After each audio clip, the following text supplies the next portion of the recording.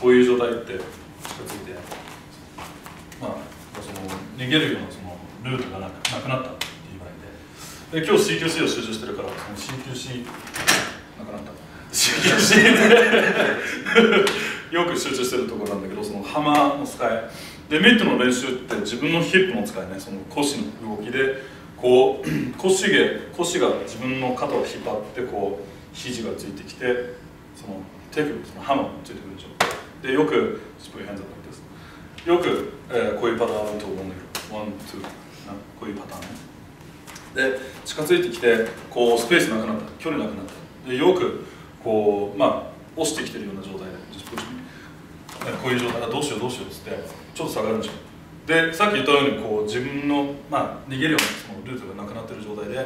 これもガードになってるから、まあ、一発こうガードできてるようにこう、まあ、小手って言う。んだっけ小手入れて、うん、そこからもうこっちも入れてこうシールに力入れて出てってるでしょ、じゃあな。ファッキーじゃあなだからまあよくその即興の基本的基本基本的な哲学としてね、まあ、自分でそういう、えーまあ、自分の手でそういう問題を直す。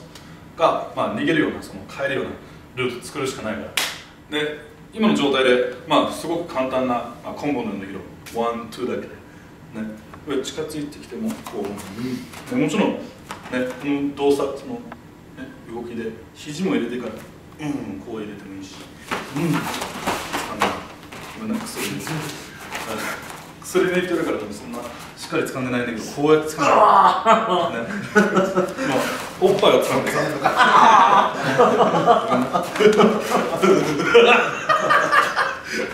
すげえ笑ってるもう何でももう目掴んでもいいし耳掴んでも何でもね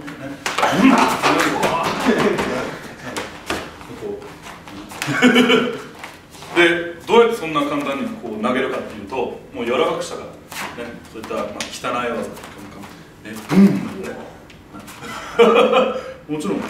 って入れたらこう動かしやすい。しかもこう沈んでるよね。胸の方にこう意識がついてくると、こう軽くなる、実は。ね、逆に。だから重い感じで、力じゃなくて自分の体重、そうなんか体重、体重って言ってるような、重い。まあ、イメージすると、その硬いっていう重いの。そうするともう体全身でこう感じる。